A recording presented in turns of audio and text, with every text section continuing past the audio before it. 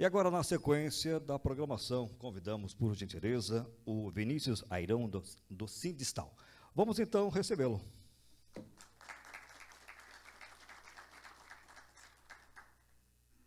Bom dia!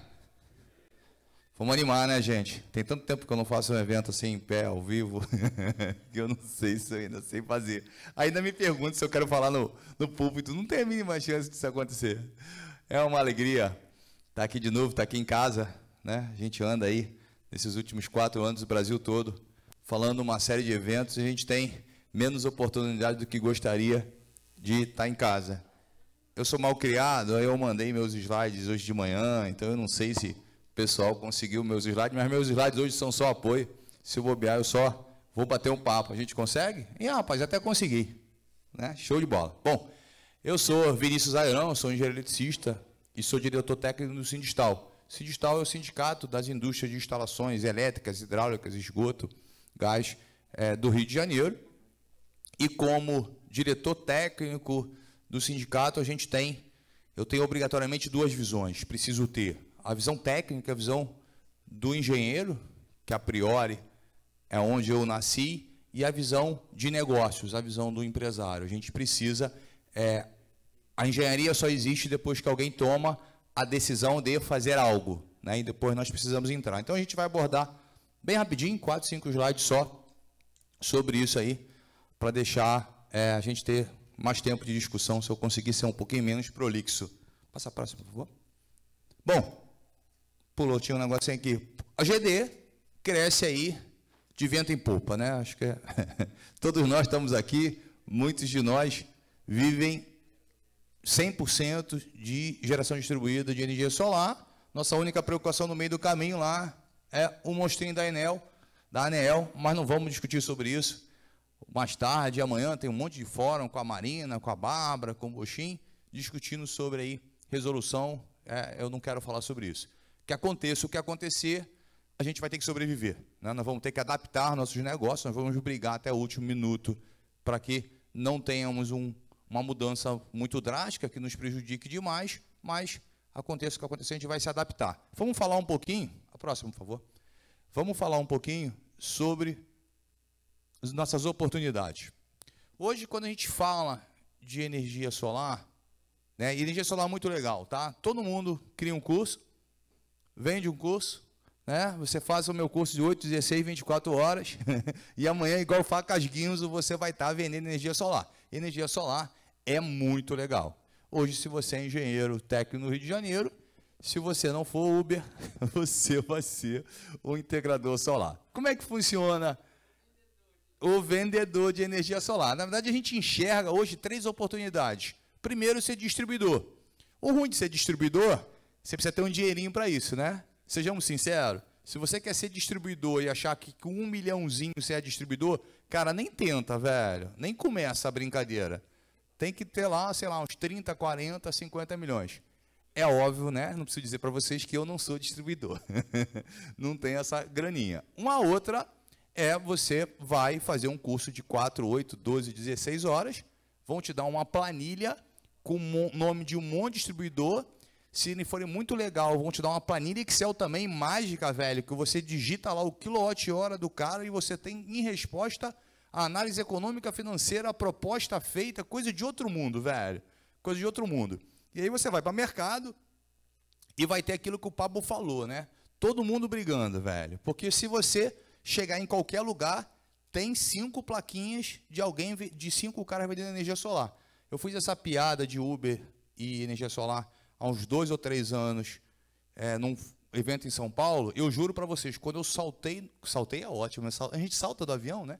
Quando eu saí do aeroporto ali do avião, ali no Santos Dumont, fui pegar o Uber, eu juro para vocês, o Uber que veio me pegar tinha assim, colado no final, energia solar. Eu entrei no carro, eu não aguentei, né, cara? Eu falei, meu irmão, como é que funciona, né? Se é Uber de dia, ou se é integrador de dia instala e Uber de noite, Aí ele, não, não, é do meu irmão. Eu falei, meu normal, pior que eu conheci o irmão do cara. Mas de dia ele carregava lá, de qualquer maneira, a escada. Então esse é o problema do integrador. E por último, é óbvio, né? Do engenheiro. Afinal de contas, alguém vai projetar, alguém vai homologar na Light, na Enel, na, na Energia, seja lá onde for. São três é o que a gente enxerga. O que a gente queria, o que eu queria agora, é que a gente entendesse. O termo pensar fora da caixa é porque é modismo. Era o melhor termo que eu tinha para usar. Mas não é nem tão fora da caixa. É começar a pensar um pouquinho, analisar como negócio. Próximo, por favor.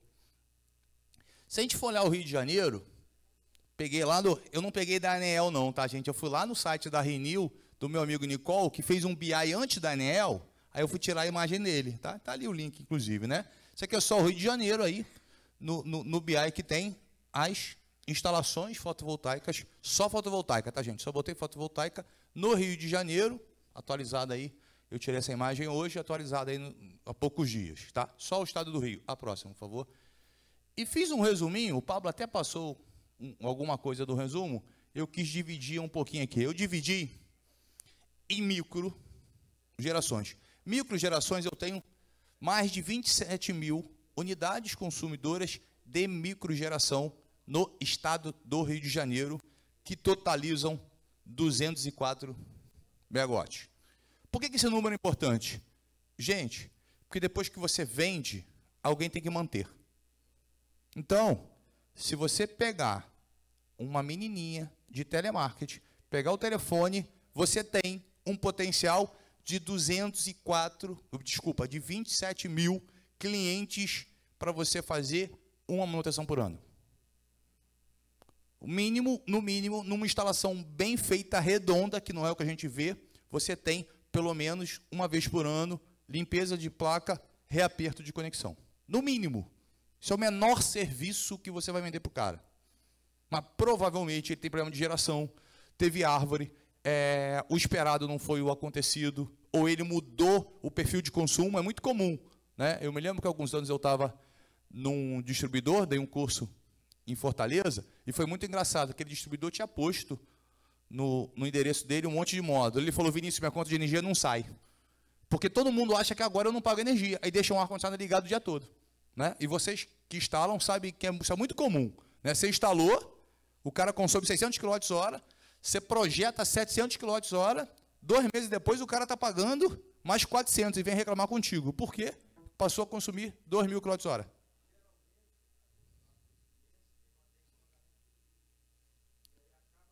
Ainda tem aumenta, exatamente. Ou seja, esse cara aí da demanda reprimida, além da manutenção, vai querer uma expansão.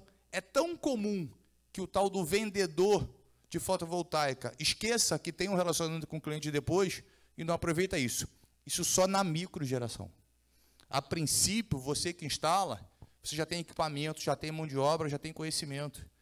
E a gente já aprendeu em outros setores de instalações, de instalações, como por exemplo o gás, como por exemplo grupos geradores, quem é do Sindistal sabe disso, que a manutenção não dá muita margem, mas mantém a empresa.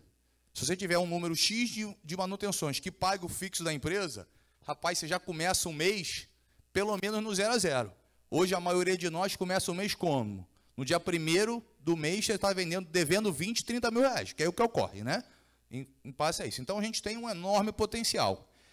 Eu tenho aí, o potencial eu dividi em 75 e 300 da Mini, por quê? Porque esse número de 300 é um número que não vai me trazer muitas modificações na cabine primária. Nem todo mundo é especialista em subestação em cabine primária.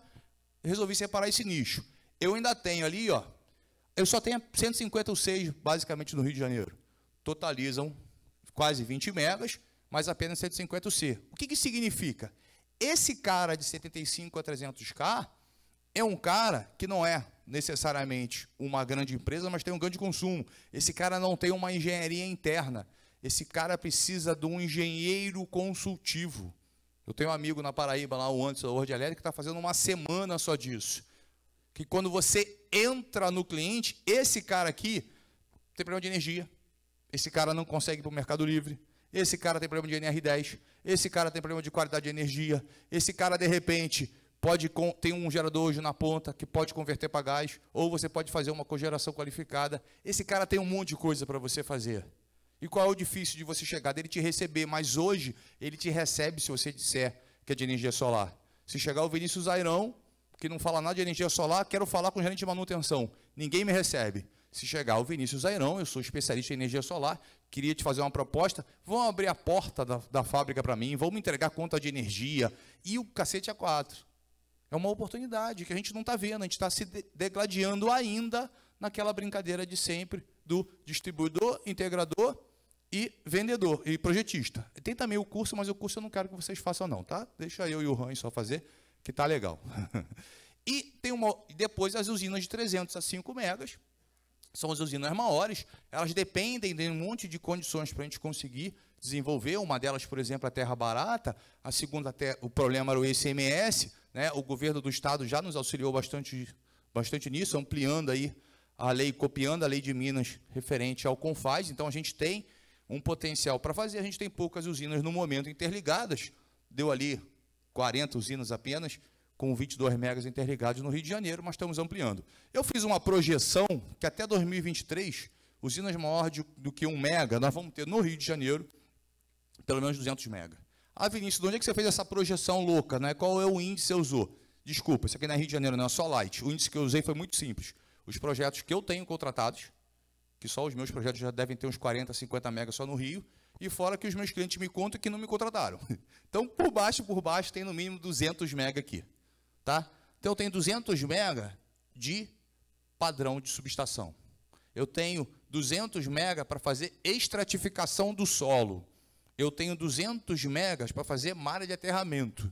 Eu tenho 200 megas para pensar em proteção contra surto, MPS e SPDA.